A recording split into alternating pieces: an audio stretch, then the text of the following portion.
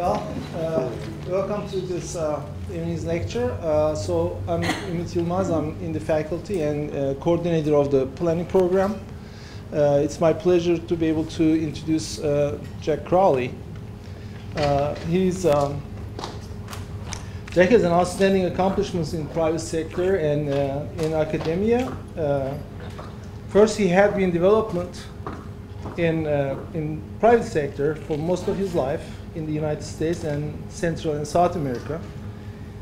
In military officer in 1960s, uh, Jack administrated, uh, administrated uh, training programs for military officers from all over the world. Now he is advising and mentoring students and faculty from all over the world, including me uh, and Rosanna. Uh, he directed uh, Tulsa Metropolitan Area Planning Commission in, in late 1970s.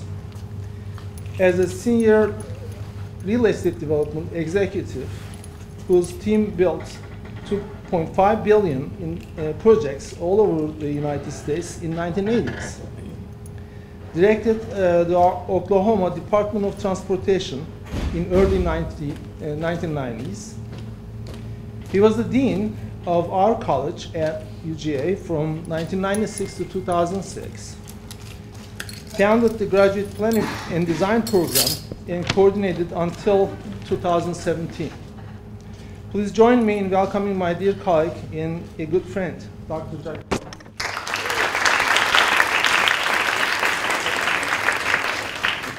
You can kick, you can kick the bottom of the slide up. I, I don't, I got it. Uh, and I'll add a little bit onto that uh, because there's two people in the room. Uh, I came here pretty much out of college to teach landscape architecture in 1974 to 78 when Bob Nichols, who's sitting in the center of the room, the guy with the white hair that you can't see his face, he was the dean. And, uh, and he's embarrassed because he hired me. and uh, another person sitting in the room was a graduate student, Marianne Kramer. Where's Marianne? So you can see how young she looks. You can see how old I look. Been around for quite some time. And when you look at studying, uh, celebrating 50 years here, I think I was, well, we started in 1969. I got here in 74. So on and off, uh, I've been around way too long, according to Sonia anyways. Uh, basically, I've had the privilege of working, I started as a dean, and I'll tell you a very, very quick story, and you'll see pictures of it later. Um, I was asked by one of our contributors when I was the dean, would they do, would I do them a favor? It was Rob Fowler, who was a banker, owned the Main Street banks, and we, I was trying to hit on him to give us a lot of money. And of course, what do you say to somebody who's a donor or pr prospective donor when they ask you to do them a favor? Hell yeah. He bought me a ticket to Honduras. They had a problem down there. Uh, the, the people that were cutting stone by hand couldn't cut fast enough for the architects to build the buildings they were putting up on the campus. And you'll see the campus has a very distinct building material. And uh, so I got to the quarry, and through an interpreter, I inter interviewed these people in bare feet with rebar that, and you'll see a, a, blacksmith in one of the slides, with rebar that's been flattened so they can chip the stone while they're hanging off of a cliff with ropes around their waist until the stone falls off the cliff, shatters on the ground. Then they go down and they chop it up into these beautiful building blocks that we use.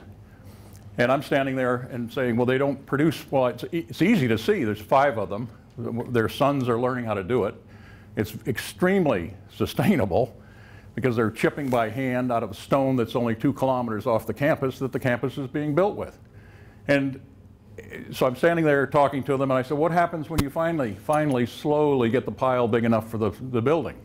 The architects wanted to go to stucco, and the alumni of the university there said, hell no, we got to stay with the stone. That's our stone. It's like telling University of Georgia they can't use red brick anymore, and or brick and tan or whatever we're doing here.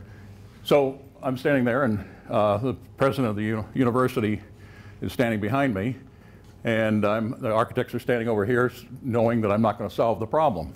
And uh, I said, "What happens when you're finished?" Well, we go home. We'll go home meaning what? We have no job. And so I said, what if you stayed here and kept cutting stone and keeping it in piles, and when the pile gets big enough, that's when we would schedule the construction of a building. And uh, that's rocket scientist in Honduras. And from that day on, I walked on water down there. And that was, they kept calling me back to help solve other problems. But it was that minimal, not a problem, it was just a misunderstanding of, of an opportunity. And as a result, I was, I was just immediately in love with that university when I got there. It's just incredibly catch on, it's a catch on. You can't avoid it. And so for the last 17 years, I've been landing at the second shortest commercial runway in the world, uh, 50, over 50 times. And that's the riskiest thing you can do in Honduras is land at Toncontín and Tegucigalpa. I learned how to spell the capital, and I am, have been for 17 years involved, and I'm uh, presently uh, secretary of the board of, governing board of trustees of the university and the chairman of building and grounds. The neat thing is, you have an idea of how to build something, you draw a picture of it, things that we learn how to do here, and guess, guess what? Within a year, they build it. And a lot of the funding comes from foundations, uh, a lot of the funding comes from the USAID, which is getting a little skimpy given the, given the progressive nature of the present administration in Washington. Uh, they're cutting a lot of this foreign aid back because these people are just evil people that are trying to get into our country. So the best thing you can do is just, you know, not contribute anything to make it more desperate for them to get into the country.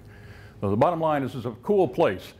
And I think I'm depending on, uh, I'm depending on Lynn to run some of the more sophisticated technology. This is just to give you a feel of the place, just three minutes long.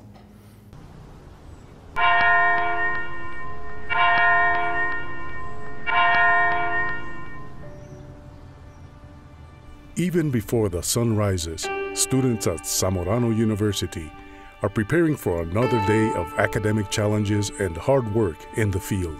The inspiring story of over 10,000 acres dedicated to teaching and learning in the American tropics has been shining as a beacon of hope in Latin America for more than 75 years. Active and restless, these students learn to value a job well done. At Zamorano, students learn that a strong work ethic makes all the difference in life. They learn to love and appreciate the land as they discover its secrets in the field. They learn the scientific fundamentals of environmental conservation, agricultural production, food science technology, and responsible agribusiness and entrepreneurship. They are being nurtured as the guardians of our planet's sustainability. As the sun peaks over the mountains surrounding this valley, agriculture comes to life. Grains, vegetables, and fruit are cultivated, harvested, and prepared for market. Through 44 learning by doing modules, rigorous coursework, and a disciplined commitment to teamwork and excellence, young women and men are transformed into enterprising professionals. Zamorano graduates are recognized throughout Latin America for their leadership initiative, and contributions to socioeconomic development. By constantly challenging our students for four years, 11 months each year, six days a week, Zamorano has cultivated leadership in generations of farm producers who lead by example. Their immersion in constant innovation and the culmination of their studies with a research thesis prepares them for the scientific challenges and opportunities of daily life. By living on campus and sharing this multicultural experience with students and faculty from diverse socioeconomic backgrounds of 23 nationalities, Zamorano graduates return to their own countries and communities with the confidence and awareness of knowledge, caring, and inspired global citizens. The sun will continue to rise over the mountains surrounding this valley, and Zamorano will continue to transform Latin American youth into successful entrepreneurs and leaders of change, innovation, and progress. Every Zamorano graduate forms a part of this beacon of hope.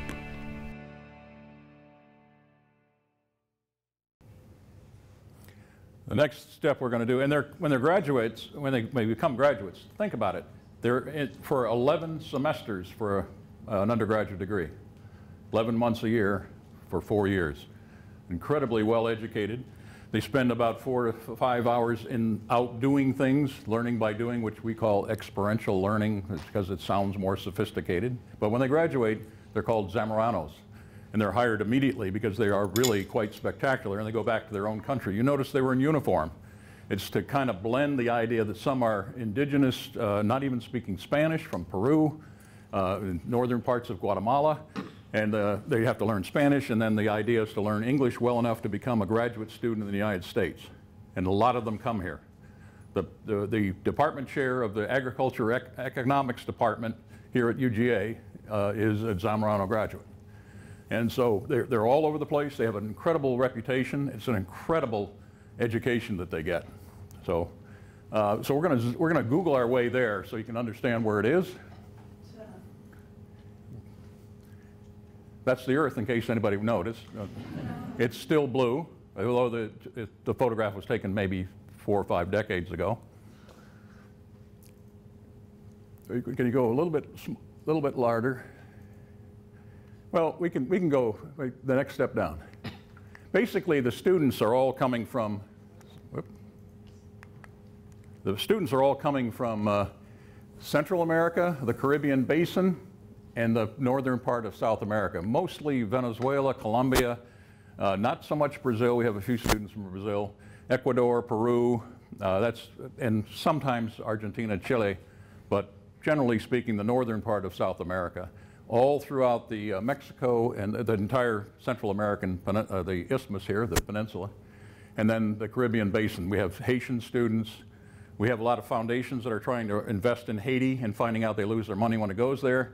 They send it to us. We give Haitian scholarships with the obligation that they go back for the four years that they got the scholarship. They go back to Haiti to contribute to their country. That's an obligation they get for the scholarship.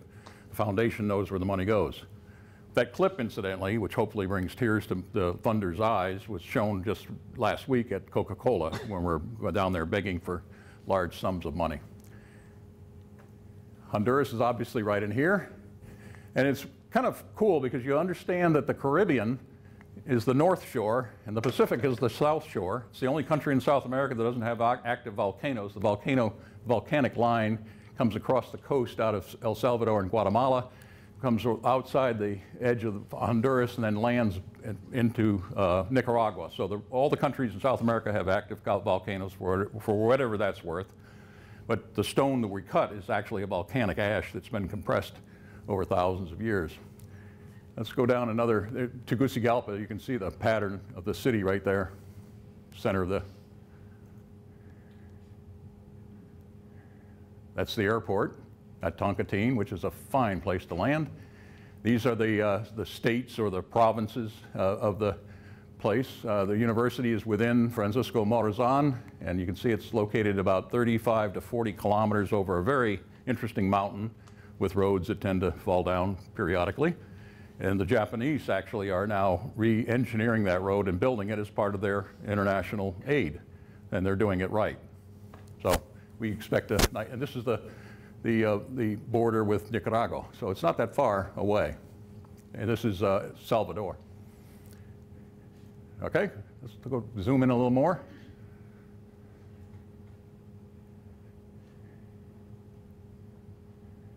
It's in, the, it's in the municipality of San Antonio de Oriente, which has a number of villages, Ecarito, El Jicarito, the, the gourd, village just outside the campus where a lot of the staff employees live. The faculty and most, a lot of the other staff live on the campus.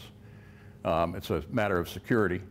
But uh, you can see the villages in the valley. This is now a close-up of the campus. This is the Pan American Highway, CA6. It goes from Tegucigalpa to Managua.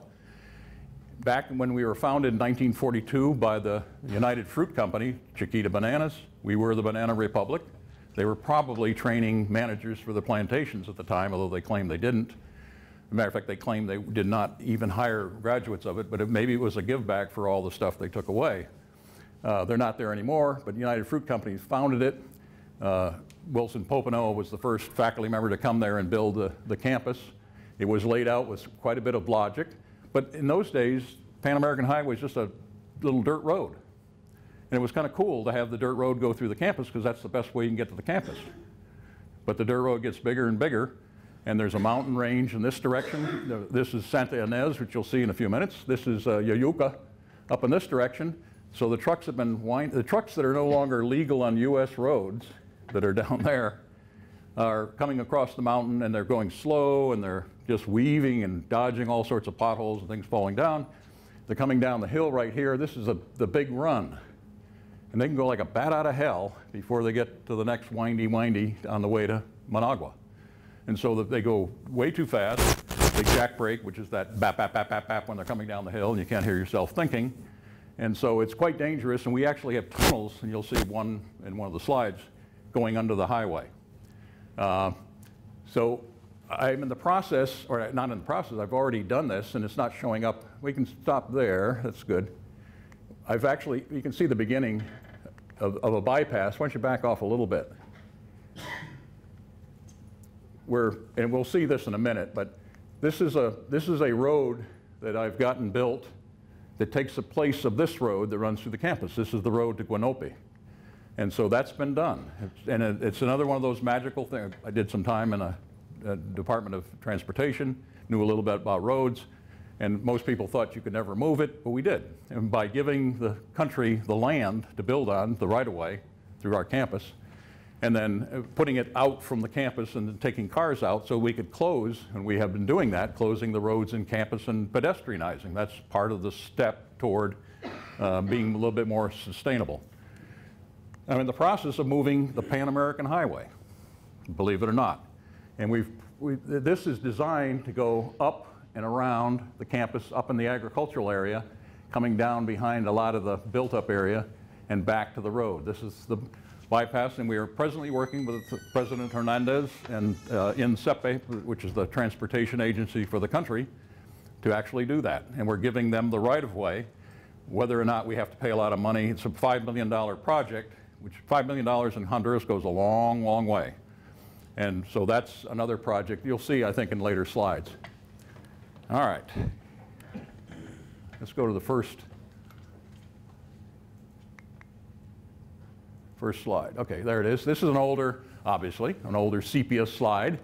Uh, and what I want you to see in it is obviously back in the day, the Pan American Highway sort of went innocently through. This may have been paved now. This would have been in probably in the uh, probably in the 50s or 60s. Uh, the campus is here. The, the residential part of the campus and the academic part of the campus, for some strange reason, was on the other side of the road. It was fairly easy to cross, not a lot of traffic. And you can see, what you'll see is the campus keeps building. And you, you can see the agricultural uh, orchards and planting that's being done on the campus uh, back, back then. This is the seed plant right in here, which is one of the largest repositories of heritage seeds in the, in the Americas. So the, the university is also a library of, of uh, original plants, if you can imagine that. This is a kind of the beginnings of pictures of some of the original, uh, I call it original town site, but this was a staff house. These are dormitories. This is the comedor, the, uh, the dining hall, the library, uh, and I want you to see the Santa Ynez Mountains, which are the mountains we have just finished harvesting water off the mountains out of springs that are always there. We own the mountains. We own the mountains on both, all three sides of this Yeguare Valley River. And what we're doing is we're gravity flowing the harvested water off the mountains through treatment plants. Everything is gravity flow, no pumps. And we'll talk about that in a little bit. So dorms, it is basically the, the administrative building is down here in front. You'll see it, it's an iconic structure, Zemurray Hall, named after Samuel Zemurray, the CEO of United Fruit Company that founded it. The makeup of the students, I've talked about, you know, the idea that they're all in uniforms, real sophisticated uniforms, blue shirt, blue jeans. They do have dress uniforms, but they're all the same. They're issued by the university. Many people can't afford it. A lot of our students are quite poor. The, the uh, half of the students are on full scholarship, another 25% are on uh, half scholarship, and the rest are full pay. And we're, we're, we're doing right now, if you think about it, the countries give certain number of scholarships. Panama will give 90 scholarships. Then they'll change governments and they'll not give anything. And then Honduras changes governments and gives us 80. So we're constantly, every year, trying to deal with a piston engine that's going up and down to try to get enough for the, the uh, 1,280 students that are there in the university. We've just started a graduate program in tropical sustainable agriculture. You'll see a building that I'm constructing for that. Uh, 425 women, 855 hombres. Uh, bottom line, uh, it's, we're still in a sort of a macho uh, culture. Uh, women are beginning to become more and more the larger part of the student body. They were just permitted for the first time in the 80s, late 80s. Uh, the president's wife in the first, was in the first graduating class of six women, four of which survived. She is tough as nails. You can imagine um, being one of six women in a, in a, group that was probably about 800 men at the time. Uh, they're coming from 22 different countries, and then the makeup is there if you're really interested. You know, you can see some countries in this particular uh, uh, cadre is, you know, you got a lot of students from one or two countries, and then some countries go down over periods of time. But they're colonies, co colonies of students, colonials of students from each country. It's like a fraternity of Peruvians, a fraternity of Guatemalans. It's quite uh, uh, water. We'll, we'll, get into some of the initiatives. I would say that we are about 85% self-sufficient. Um, and that's, that's a number I can pull out of the sky and nobody can disprove it. Uh, so I speak like Donald Trump. That's it's 85%. It's, it's perfect. It's the most beautiful thing you've ever seen. And uh, Putin has written a letter backing it up as well. We're, we're, we're digging and dredging a series of lagoons, lagunas, and uh, to catch water. The climate change down there is interesting. We are on the dry side of Honduras. The North Shore and the Caribbean side up to the mountains is wet. Down the south side toward the Pacific is dry. It's similar throughout South uh, Central America. So the rainy season is mostly afternoon storms from, it used to be from March to about September. Um, it's shrinking. The size of the season, the length of the season is shrinking. The, I, we think the water is about the same. It's just coming a little bit more violently. Surprise. And so it becomes even more critical for us to catch it the minute it falls and to store it in a growing number of lagunas that we are uh, digging in the middle of the, fields. We own 8,000 or so acres of land, so we have room for that. And so everything we do, we'll, we'll get into it in a second, has to go into that lagoon because it becomes the uh, irrigation system for the, all the production of agriculture, animals, uh, vegetables, grains, forest products, and everything else. And uh, so we're, getting, we're, we're doing three more lagunas, and we have different parts of the campus that gravity flow to different lagoons. And those lagoons are used for different areas of, uh, of agriculture.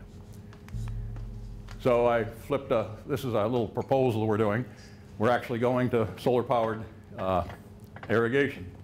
Uh, and we'll talk about solar power under energy, but the idea here is that you're irrigating during the day or early day. The sun is producing energy about the same time you're irrigating, so we're able to, I've just thrown one screen, you're probably needing three or four, but this is, this is a proposal that's going to USAID about uh, solar-powered pumps. And it's just a symbolic kind of sketch, but uh, the bottom line is we're, we're installing, we're looking to install them. It's going to be about a $500,000 uh, undertaking. Stop me, if you have a question, just raise your hand. Uh, this is the land that we own, uh, the main campus. Oops, sorry. The main campus, too many buttons, it is, here's, here's, the, here's the CA6, the trucks, they're working their way down the hill, and wham, and then they're going again up to Danlí. Don Lee, incidentally, is the cigar capital of Honduras. It's alleged that that country is the second best producer of cigars, and it's about 35 kilometers away. Yeguare River is running this way. This is the Santa Ynez mountain that we're mining for uh, water. This is the Uyuca, where we're mining. We have an option to eventually mine off of this particular mountain. There's a bunch of villages, Jicarito, which is about 10,000 people.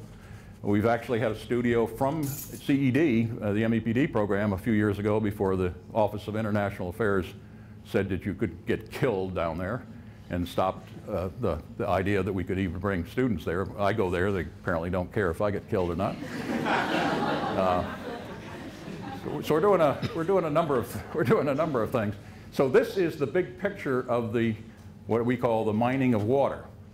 And the, the water is coming from this mountain. It's all gravity flow until you get to about here, and it starts going uphill.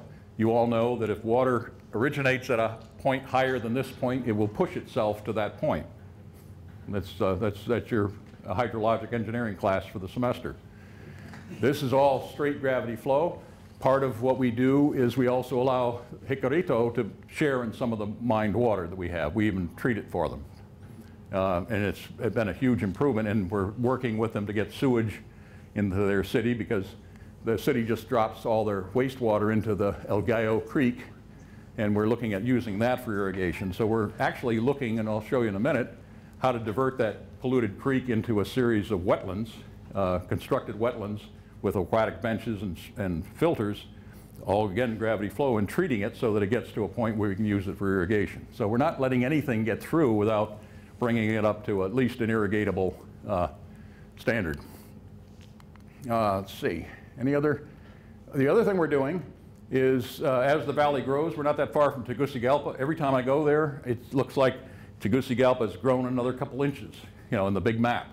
You're going over the hill, they grow uh, Christmas flowers at certain elevations. There's a lot of flower uh, exports going on on that mountain, Uyuca. But the city is growing more and more toward us. The city is not a very particularly pleasant place to live, so those that can afford to live elsewhere, suburban, are beginning to push in our direction. They have an interesting transit system on CA6, very effective. All the buses that we condemn go down there, they shine them up, hang a lot of interesting stuff in the windows, and every 15 or 20 minutes there's one going down the road on its way to Tegucigalpa or coming back. So the, the frequency and the reliance of those buses coming and going in terms of headway are far better than American standards, largely because nobody has cars. Uh, motorcycles are beginning to, to be uh, present, but the, the ownership of automobiles is next to nothing. So uh, the traffic that's on CA6 is traffic moving from Tegucigalpa to Managua or some of the larger cities along the way. Uh, we're also studying reservoirs on land that we own. We don't own this, but these are two places we've identified be because the best way we can protect the harvest of our water for our system is to continue to help the surrounding communities have water that's reliable for them. Obviously the risk is if you're the only one with potable water, then it's going to get nationalized. That's always a risk. So we've got two reservoir sites. There is a, a European Union grant that looks to, to, help develop. We do the same thing as USAID. There's other countries, Japan in particular, Korea, that uh, contribute a lot of money to Central South America and as their, as their uh, foreign aid. And so there's grants to build those reservoirs and we're competing for them. This particular one is on, mostly on our property. There's a canyon right in here that most of the reservoir would be right in here. And this is land that's pretty remote to us and probably not particularly usable or accessible. The Ferrari property, not the car. It's the name of a farmer. This is a, uh, a the, our treatment. This is a recently installed uh, water pipe going from Santa Ynez to this treatment plant. So the harvest on Santa Ynez goes downhill, and then in here it starts climbing. But the treatment plant is below the elevation of the, of the pond that we've, the dam that we've made up on the creek in the mountain and therefore it pushes itself all the way to that plant. And then obviously the stuff coming off of Uyuca is just downhill. This is designed by Cornell. Uh, it's called Agua Clara. It's absolutely gravity flow. There's no, it treats it only with chlorine, which is added to the water. We filter, filtrate it. It's sediment tanks and things like that to take other things out of it. It is potable. I have been there for 17 years and I have never visited Montezuma. So obviously this is just built, so we've had other systems to kind of bypass that. Beer is always a safe bet down there, bottled beer. So, and then we have uh, uh, storage tanks, 100,000, uh, four, four 100,000 gallon storage tanks. So we treat the water, it flows in off the mountains. It, uh, the mountains have two different types of water. There's the mineral contents of the mountain, make the water, and we mix it. So uh, it's, it's kind of uh, basic, well, here's the storage tanks right in here. That's the campus. And bottom line is, when those tanks fill up, the water is always flowing. When the tanks fill up, there's a little flap valve. We don't treat the water for potable water supply anymore. We don't waste the, the only the single chlorine chemical that we put in it. The valve closes and the water passes on down to the lagoons. So it's just mount, water mountain, mountain water coming off, passing the plant and going to the lagoons. And we're building more and more lagoons because the rainy season is getting shorter and shorter. Uh, so again, example of the transmission lines, example of the kind of the set of the valley, and this is the plant, uh, and it's got a classroom in it. Part of the training for the students, the education for the students, the experiential learning, it's one of the learning by doing modules is about harvesting and treating water. Cornell is actually, this is the biggest plant they put up. They're building uh, smaller package plants that, and using the exact same principles that they can export to other developing nations. And the students that are graduating there will be in those developing nations and using that technology. So they're learning it there and there's classrooms there. It's not, a, it's not rocket science, quite simple. And again, uh, we also build a building so we don't have air conditioning and we don't have heating. Uh, it's fans on a real hot day. March is the hottest part of the year. And that's very rarely have I ever been in a room at the hotel that we built uh, ever had the air conditioner on. Uh, you just open the windows and you have a fan if it gets bad. So, and, and bad is 88 degrees. So, uh, this is the runnel system. The runnel system was built for, uh, for irrigation back in the 40s. It was a gravity flow irrigation system, and these are runnels. And these are existing historic runnels. I guess we could put them on the National Register for Historic Places. They also played with it. Uh, these are between two classrooms, and the runnels come in and they splash and bubble and whatever they do. Uh, but and again, they're on their way down to the ag agricultural fields, which are below the campus. Um, I'm building more runnels. Every building we build, we don't, you, you can see that this is the typical building. This is the stone we use, and we use a, a clay tile roof. Uh, those clay tiles used to come from Honduras, very short distance. Stone comes from about three kilometers out. The uh, tile comes from, used to come from Tegucigalpa, about 45 kilometers. Then we discovered that they don't fire them heavy enough or long enough so they're not uh, really well-fired tiles, so we're not actually importing them from Spain, something we need to work with, but that can be solved by having a better furnace uh, somewhere in, in Honduras. And given the number of tiles that you'll see on roofs everywhere you look, you would think somebody is going to come up with a, with a fire that's good enough to cook. Basically, the softer tiles, they, they grow mosses and things, and they, they come apart. Uh, you can't repair the roof very easy. It's hard to walk on the roof. Uh, the, the, it absorbs more water during a rainstorm. It's heavier. The roof structure has to be bigger. So uh, we're, we're, that's the bad thing we're doing right now is exporting. They're coming in big sea containers um, from Spain. Uh, so this is an example of the typical swales that we're building uh, uh, just below the roofs. You can see in this case, this is an old building, but they've actually all this is that stone, the same stone that's just put on the ground and just below the, uh, the roof line, and therefore the, the water in this case just kind of falls into this channel, or some of it might be absorbed in that lawn. We're trying to get rid of all the lawn that we're now walking on too, go into a absolute natural zero xeriscaping system. And so that's another thing that we're doing on the campus. So what you see is the lagoons that we're digging, and there's, these are all built, and we probably are going to put another one in the series here. The bottom line is how much water can we catch? How can we uh, store it for the roughly for about four months and then get into the growth period. Incidentally, the shortening of the rainy season allows us to have two seasons of growing. That's another thing that's happening. It's, rainy season is not a good time to grow. The sun's not out there and it gets too wet. Uh, so this is the collection system. So this is kind of symbolic of the runnels that we're developing.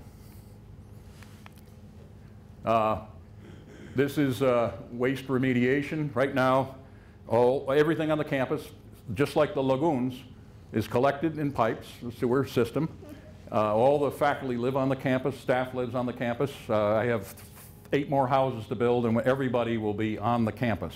We won't pay any off-campus uh, uh, monies. We're actually taking that money that we pay someone to live off campus and putting together to build the houses that we uh, need to put them on campus the old system, the old runnel system, this is the El Gallo stream, the old runnel system had a diversion weir in it. And it went out in Hurricane Mitch, a giant hurricane that hit Central America about 15, 20 years ago, maybe more than that, and wrecked a lot of things. We're re re rebuilding them. And again, it's just a diverter to push it, to push the stream, if we can treat it, into the runnel system. That's another place where we can be harvesting. But otherwise, Right now, the sewage system goes, the, the on-campus sewage system goes through a series of three ponds, and the students learn how to test the water. They learn how to do the, what we call uh, very, very rudimentary type of wastewater treatment. We don't actually do anything. We're looking at putting a, a purifier, not a purifier, a, pure, a purier treatment one in, at, at this point where we can actually filter it out. And we're probably putting another pond in, and we're building some aquatic benches that are not in the ponds yet. So we're upgrading those to a better uh, aquatic system that'll uh, do, you know, bioremediation. Uh, and this is the system that we're building right there. It's all gravity flow. This is where we're looking at diverting the El Gallo Creek through the diverter into a series of uh, aquatic wetlands so that we can actually, in different kinds of crops, take pollutants up differently. So uh, some of the orchards, if you ever get into, agri, and I'm not an expert on it, but we get, we hire somebody that is. Um, basically, if you're using orchards, uh, you're irrigating orchards with the less than perfectly treated water, then it's, it's not taken into the, uh, uh, the mangoes that you're growing. If you're growing uh, carrots underneath, radishes and things like that, it might take it up a little bit more directly. So again, there's a strategy of what you plant for that particular. And this is just another system and, it's, uh, and we have, other, we have own a lot of land where we can actually do a different kind of agriculture. Energy. Uh, we built a one megawatt plant. We borrowed, we pay roughly uh, $800,000 a year in electricity from NE, which is the, uh, which is the monopoly, the national monopoly. Um, we don't think that batteries are good enough yet they're, they're, they're, very expensive and they're not particularly reliable, so the technology in batteries is getting better. We're not getting into that yet, so we're dependent totally on produce and consume. And so this represents one third of our need. And basically, an E will not allow us to have reversible meters, so we don't get any credit for things that we overproduce. So basically, you have a typical you know, the sun comes up, the sun goes down, and the, your production, and that's just a, me pulling a magic marker out of my back pocket. It's not a highly sophisticated thing that you want to take a picture of and then send to your local engineers. But basically, symbolically, this is what our production is. This is what our diurnal daily consumption patterns are. Obviously, they go down at night, but there's still lots of things going on. So that field is producing this. And it's a fixed solar system. We are now getting ready to install trackers, which are much more efficient at producing even at, at this part of it, and we're going to produce a little bit more at the top. We're losing that into the system. We are negotiating with the NE to give us credit for what we're dumping into the system. They're not inclined. They, they appreciate it, and they can make money, and they'll leave it at that. We're not there yet. So we have, obviously, we have to have backup generators. We consume, I, I don't know how many uh, board meetings I go to, and then in the middle of the board meeting, the lights go out. That's pretty classical, pretty typical. So that's part of the experience. It's just in the middle of a sentence or in the middle of one of your presentations, boom, it disappears. And then you just sit there and say, okay, and then you discuss something that you don't need technology for in the dark. And then it comes on five, ten minutes later. So backups are obviously for the computer system that can't really stand doing that. So we have those that kick in immediately. They are diesel powered. We're trying to assume that we can power them directly off the solar system. We're not sure, but it won't work at night, obviously, when the grid goes down. So bottom line is, you know, you have your net metering, that doesn't work yet, battery technology. We're also using solar hot water heaters on everything. Those are really efficient. And uh, we've installed them on all the new buildings, and we're going back and retro and fitting most of the old buildings with them. So uh, if you get batteries, then you can afford to take this puppy and fatten it up, really fatten it up. And what we've done, it, it, it cost a million dollars to build. So we borrowed from our own foundation, and the $200,000 a year we save on energy because we're producing it ourselves is automatically, the board has decided that we're financing our own solar system, our solar panel uh, production that goes back into the foundation on, on an annual basis that field has already paid itself off three years faster than we thought. But so basically the money that you typically save, even though we're growing and consuming more, is the money that goes right back into the foundation. So it's financial sustainability. That's another aspect of sustainability. I, I get into arguments with myself all the time. Uh, is this, are we shooting for sustainability or are we shooting for net zero? I just throw that up as a thought. You know, you're always going to have plastic toothbrushes. You're always going to have maybe the batteries are not going to be particularly sustainable in terms of production and, and reuse or uh, recycling. There's lots of things you do that are going to be really difficult to cause complete sustainability. So what you do is you overproduce in one area and you still underproduce in another and you add them up and you're at zero. So net zero is kind of the principle that I kind of believe in. I probably should have retitled it uh, Net Zero in Honduras. But uh, we are producing net zero homes in the United States now. A friend of mine has won a couple national awards for producing one at Serenbe, as a matter of fact, near Atlanta. So I just throw that up just to make you think at least. All of our structures, this is a, this is a non-denominational cha chapel. Someone said, well then what's that? But basically all the religions have a closet and they bring their stuff out and, and you have uh, some, something going on. Uh, the windows, I might add, are pictures of tractors and fields. Ain't no saints in the windows. It's just tractors and it's, an, it's the agriculture which is the base for the whole, the culture of the place. But I, I show this only because, and this is where they have singing and lots of other things, production with a, with a roof on it. But the idea is it's all open. It's very comfortable. It's shady. I've never been in there and been uncomfortable. There are fans. You can turn them on. But again, part of what this is all about is not consuming energy to heat or cool yourself. And obviously, there's an advantage to being in that location. It's tropical. Uh, I've had the opportunity to uh, spend, I've, I've, been designing stuff for 17 years. This is an example of a, a a new urbanist subdivision, or an old neo-traditional subdivision, I would say. And, and basically, whoops, basically, uh, there's, this is the front doors of everything. This is the back door, and this is where the, the faculty do bring cars. And uh, there, there's, uh, this is basically built to house uh, the growth. We're actually building these two units right now for, for staff. And that's part of the business of bringing everybody into the campus. So you'll see a construction. And basically we did a, a study on solar panel, hot water, uh, what we call small houses. They're not tiny homes. They're uh, 800 square feet. Pretty comfortable. Uh, a little study in them, uh, two bedrooms. So it allows your faculty or staff to bring children. We have teachers that come from Europe and the United States. So the idea is you give them a place to live, and that's part of the attraction for them to come. We also have a uh, elementary school, middle school, and high school. We just finished building the high school. It's SACS accredited, the same accreditation body for the University of Georgia. Uh, it's a spectacular school. It's known as one of the best in the country. It's built as an attraction for people to come and teach. Obviously, we bring your family, you bring your students. Uh, obviously, if you think about U.S. bases overseas, there's always a school on the base. So in this case, faculty and staff have children in there. There's a, there's a tuition. Uh, they're, they're uniformed. Uh, they're fed so that you're going to have poor and rich because when the faculty and staff don't fill the school, which is the usual case, the, the rest of the seats are open to the kids in the nearby villages. And so they're coming in usually at, we're looking for really bright people and they're, they're poor as hell. And so what you do is you have to make it so that they don't stand out as poor people the people on the campus are probably pretty, well not probably, they are very fortunate relative to the surrounding countryside. So we're building these and they are built, uh, we're trying using a saw on the stone. It's another way of speeding up production, but uh, these houses are built that way.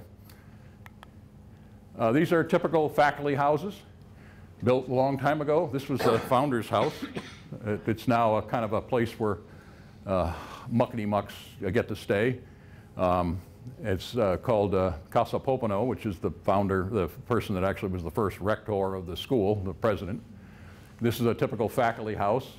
Uh, we're not going to build them that big anymore. We have plenty of ones that size. We think they're a little bit overbuilt, but they don't have heating and cooling. I don't think they, any of them do, not that I've spotted. And we're putting hot water heaters on all of them. This we just reconditioned, just finished.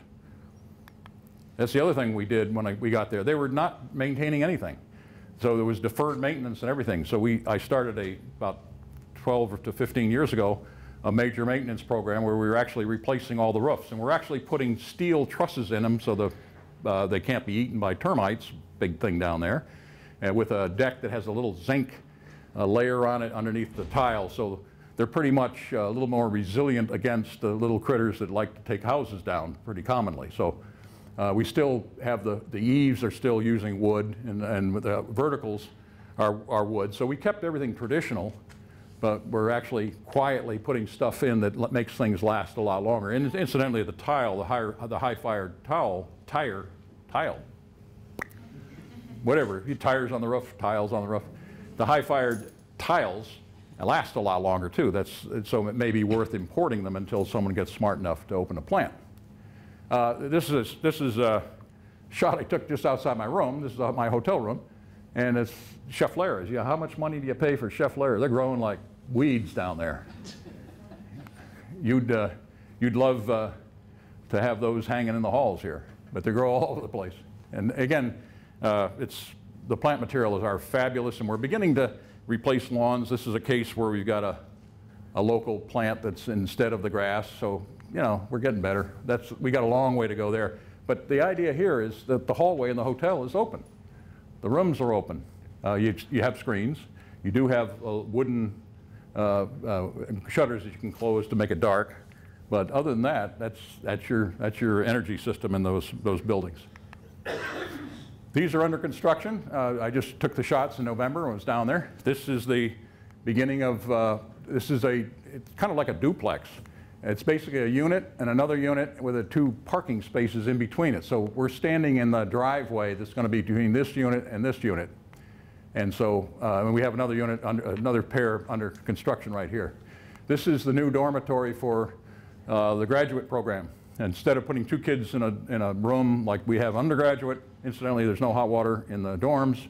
The tradition there is a cold shower. I have been trying to put hot water in, at least hot water pipes in the dorm because I know it's going to change at some point and cost us a lot of money to retrofit. Uh, I have been told by the people on the board uh, that are graduates of the place, hell no. And so I do have hot water pipes in this one on the guise that it's a graduate dorm. And if you're attracting graduate students, they're not about to do that. Graduate students in this room would not take cold showers and go to a kind of a university like that. So this is the dorm. It, will have uh, 25 beds. And it'll have a little kitchen, laundry, and things like that. Incidentally, the students are issued uniforms. That's the other thing we do. And we have a lavanderia, or laundry, uh, that actually does their laundry for them. They bring their bags over and, it's, and they take their bags back. So all that kind of service, they, we feed them, we uh, clothe them, and we shelter them, and we teach them, uh, both academically and applied academics in the field. Uh, the other thing to make things a little bit more net zero or sustainable, whatever you want to call it, is we've been trying to fight the idea of students on the weekend going to Tegucigalpa and, have, and partying. We actually take them on a bus because it's less risky for them to take our bus to go there and then we pick them up. We drop them off at the International Intercontinental Hotel and uh, they take up a floor and apparently leave most of the furniture broken by the end of the weekend. So we're doing more and more on campus to make the campus a lot more attractive to the students. So basically, the, this is typically, this is a kiosk that I drew a, a, diagram of it. I didn't show it here, but uh, then we got a contributor, $30,000, and we built it. And we got about four or five of them around campus. They're really neat social spaces. They have a, two little cookers and a sink, and that turns into the big social space the minute they have any time to get together. And these are built right next to the dorms. This is uh, part of an orchidarium. It's the national flower of Honduras orchids. A national flower of every country in Central America, I believe, is orchid of some sort. We got a big contributor. The board didn't want me to build this. They said that it's not in our core, uh, our core direction of the university. I said, well, you want to send the money back to the donor? No. So we, I toned it down a little bit. This is a kit. This is a, rain, a cloud forest uh, orchidarium, and the kit hasn't come from the U.S. at this time, so the base is built, but the glass and the humidifiers and all that sort of thing that uh, caters to that particular orchid environment hasn't been in. The rest of them are uh, um, dry, uh, dry and tropical, and uh, they're, they could just be open nets. So we have an orchidarium, we have arboretums, they're places where people study, learn plant materials, just like landscape architects. This is an old building that we are retrofitting uh, to a, a gym. We have a swimming pool and another gym elsewhere in the campus. We have net, the soccer fields that are open. We have soccer fields and nets. We have baseball fields. Uh, we're building a couple of handball courts, tennis. We have uh, horseback riding. So we're, we're building all of that stuff to make the campus self-contained and attractive. We can't make a student stay there Saturday afternoon and Sunday when they're off, but we can attract them not to opt for the alternative. Uh, we're doing master planning all over the place. When I started on the campus, we, uh, we started with no dorms here, and we've built nine of them. I don't, that doesn't come out to nine. That's that little old building. It used to be a poultry building that we are re retrofitting to, uh, to a uh, gymnasium. We're looking at another cafeteria. The other cafeteria is overloaded. And the other thing I'm looking at, this is the hotel, you'll see in a minute, that we're looking to add on to it um, and then build a typical South American central park, little plaza. And then on the other side, taking all of the retail we have on the campus, we have stores and other things, other retail, pushing it off the campus so it can be used by the village. You can't, the villagers can't get into the campus. It's high security. And so we're building it out here, and that's probably where we could put the kind of entertainment that the students might be attracted to that's just outside the door of the campus. So we're trying, again, this will be a retail village, and we've got a sponsor that wants to build a village. And then what he'll do is he'll own it and operate it until he pays it off. It's uh, Fernando Paiz, who used to own Hyper Paiz stores throughout Central and South America, who recently sold it all to Walmart. So he has the capital to do it. And he was a former board member, so he's going to do it. He's going to, uh, we're going to rent it. He's going to rent it out, make a living out of it, and as soon as it's paid off, he'll dedicate it to the university. Again, it's another strategy. This shows you the Jicarito, the town up here. Uh, this, is the, this is where the CA6 comes. It's going to then bypass this way. You can see where it avoids the center of the campus. Uh, it already, the Güinope bypass is already built, which got rid of this. And, we, and when we build this, we're going to shut down North Villages comes down to through the campus as well. And so does Jicarito. These two roads get closed and we will then have no public roads transecting the campus. Um, and this, this is our plan to, to, do it. So when we build, we want to vacate that. When, when uh, we build the road, we're going to we're going to tar and develop the road, pave it into Jicarito. Our, our water plant is here, and the road is so dusty that it, we're worried about the plant. So we're paving the road on the, under the guise we're helping the city, but it's really to kind of keep the dust out of the water plant. But the city has agreed to vacate this street. And then when we take the next element of the north bypass and connect to the north villages, they vacate this. So now we're, we're done. There's some of your transportation. This is an example of the, pass, the passageways that go under CA6. They're all throughout the campus. They're kind of cool. Uh, they're interesting. You'll hear frogs in the drainage underneath the street, uh, underneath the, the, there's drain ways. Obviously, this water will collect if we don't drain it out. These are your transportation devices, tuk-tuks. Uh, you can go up to Jicarito from the campus for about five lempiras, which there are 25 lempiras to a dollar, so five lempiras is not a much. It's pretty inexpensive. Um, there's, they're beginning to be corrupted a little bit, uh, people controlling who owns them. This is an interesting, and I shot this, uh, the opening slide was up on the, on the mountain where the quarry is. This fellow has a full-blown smith, uh, smithing operation going. He's got a little oven and a little billows, and he's cooking the uh, rebar, uh, this rebar, and as you can see it, and he's flattening the ends so that they turn into the, the, the chisels that you're carving the stone. The stone is spectacular because it's got a rough edge, but it's pretty accurate, and they're not all perfectly the same size. The width is the same, they were pretty careful there, but the lengths are a little bit varying. And when we build buildings, we have to put a miscellaneous metal in the structure if we're going to do two-story. These would normally be load-bearing walls, but I don't trust that, so we put a metal frame in, and then basically we just carve the stone around the metal, and you never, you, it's built into the wall, you never see it. It's pretty cool. But he's, uh, this is uh, the quarry, and it's that primitive. That's, that's the shot of him again. That's me standing there holding one of the stones. It's fairly light. Uh, this little story is quick. Uh, Kellogg came down to celebrate 30 years after they built our Centro Kellogg, which is our hotel for continuing education, just like we have here, except they took the name off. Then they came around to celebrate 30 years. We still had the name on.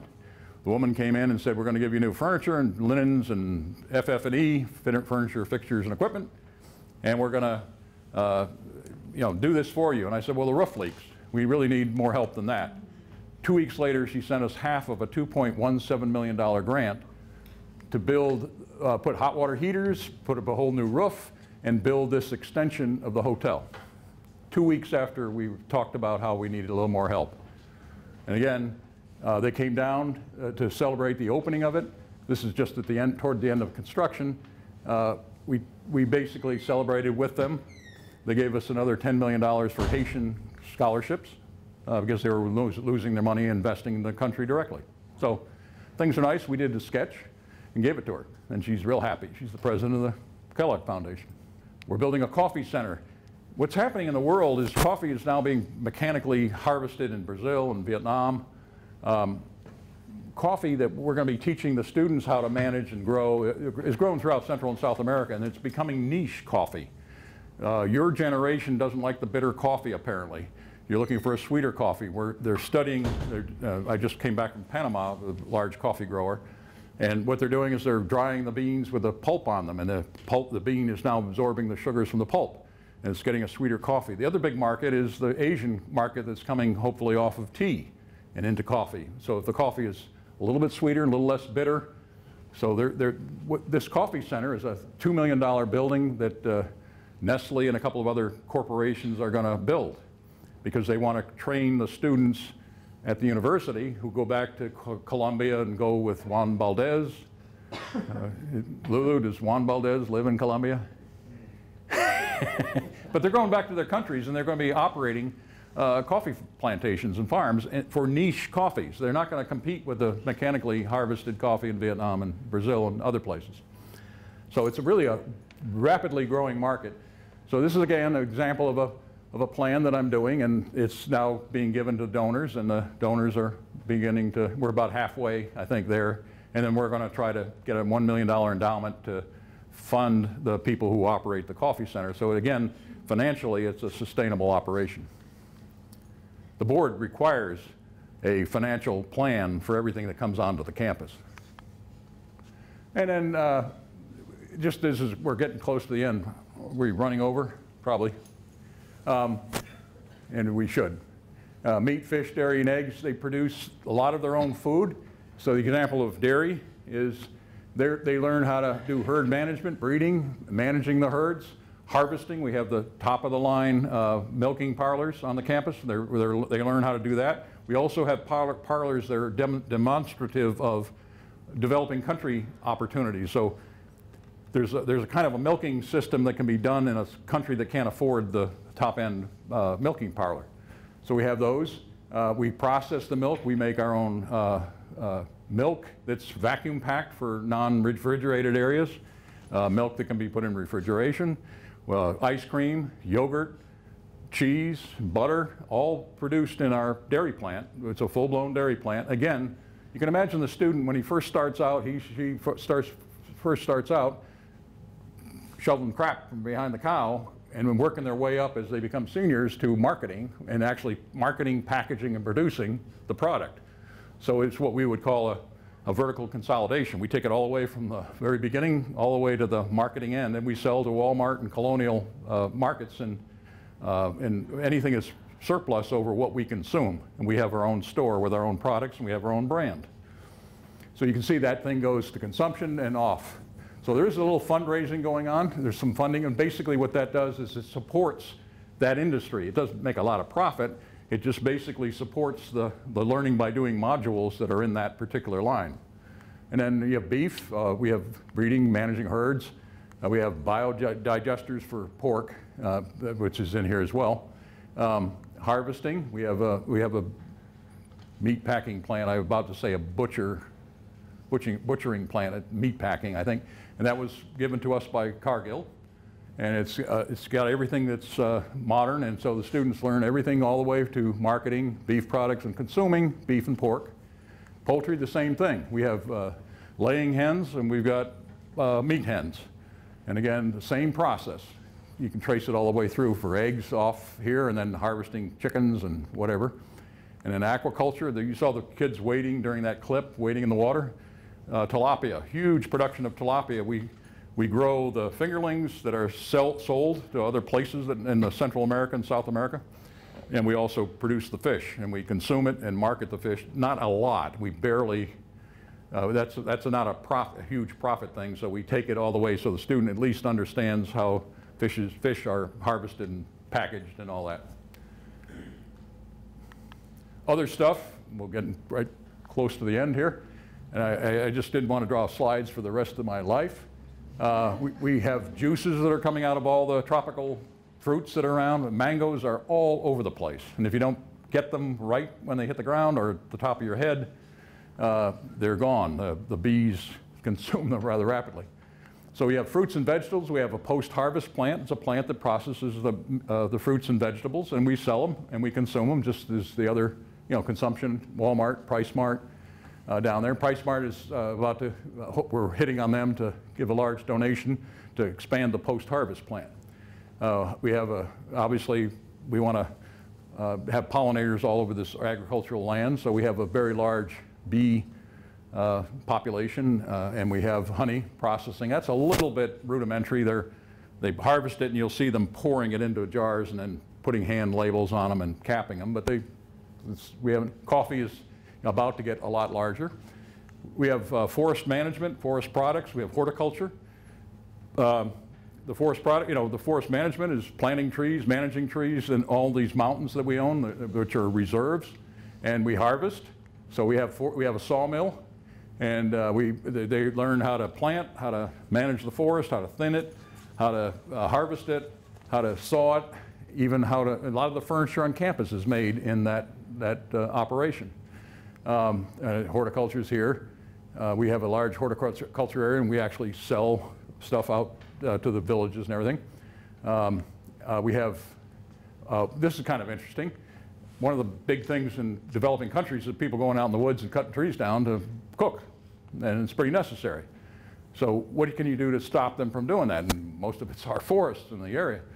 We developed very high efficiency stoves that have been invented by people on the campus and studied and it was so successful that we got large grants to mass produce them and give them to people so that they cook the, stu the their, do their cooking in a much more restricted place where you get a higher heat and not quite as much product having to be burned.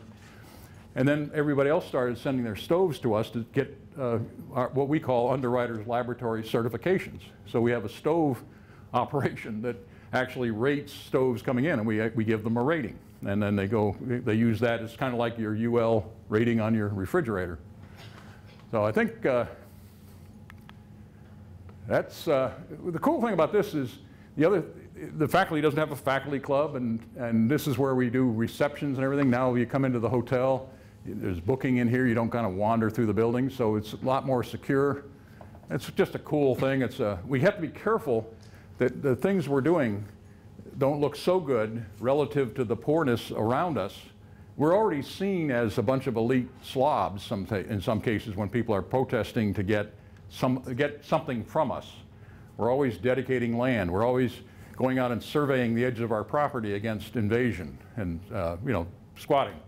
And, and, and the board does not want to kick someone off that's been out there somewhere, so we end up negotiating a sale I'm developing a strategy where all the edges of our property that are near where they can be reached off of a road, we're actually coming up with a platted row of lots that we sell off so that that becomes the boundary. Again, you know, you got eight or 9,000 acres. They call hectares down there, and hectare is about a little over two, two plus acres. It's, a, it's 100 yards by 100 yards um, versus 2.8, 208 foot, six inches bottom line is we're, even, the, even the protection of the land is a strategy. And we have to do it very carefully. Otherwise, uh, a country like that can also get up in arms very quickly and they can nationalize lots of things. They can interfere. Although the president, who's been reelected against the Constitution, is very friendly to the university, so it's one of those things, God, he's going to help us relocate the CA6, which is huge. So we're kind of hoping he hangs on long enough to get the road built, and then he can pay attention to the Constitution, get arrested, and sent to jail. Uh, so I'll stop there uh, on, that, on that high note. And uh, we probably run over a little bit. I'd, I'll be happy to take any questions from anybody. But this has been a blast. I have learned more. I was on a panel somewhere in, I can't remember where it was, Boston. And we were all sitting there, highfalutin folks. And I was the last. And everyone was saying, we have got to take our knowledge of sustainability and export it to developing countries. And I was last. And I went, no, we got to go to, and I'd already been here for 10 years we got to go to the developing countries to learn how they are sustainable out of absolute necessity. And they're far ahead of us. And some of the simple things that they do that I've learned to do there, and I didn't, I didn't come up with the solutions, I learned it from somebody in a village. Uh, we're, we're looking at a, a, Howard Buffett grant of $34 million to set up uh, permaculture teaching.